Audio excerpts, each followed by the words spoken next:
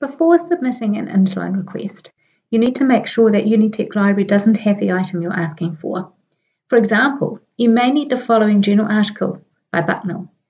The first step is to put the title of the journal, not the article title, into our library search catalogue. The journal title is Metropolis, so enter this.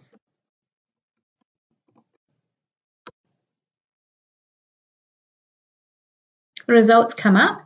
You can refine your search to journals.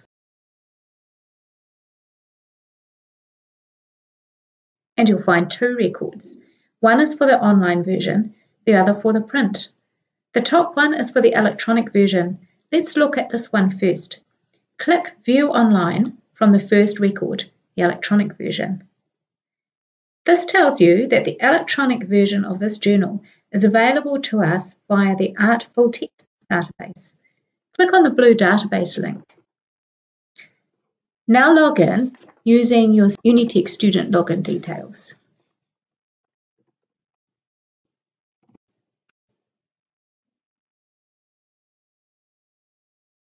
And you can look for your article now. We know that our article is from 2018 and was in volume 37, number 9. So just drill down using the links until you find it. Our article is on page 152, so it's the top one.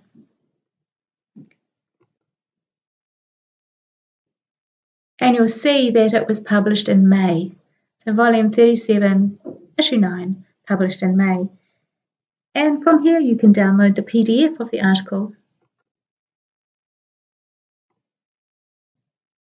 Here's the full article.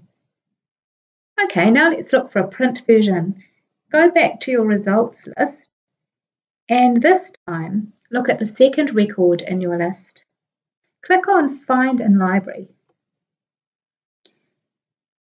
then you can put in the year that you're looking for into the box. So we're looking for 2018.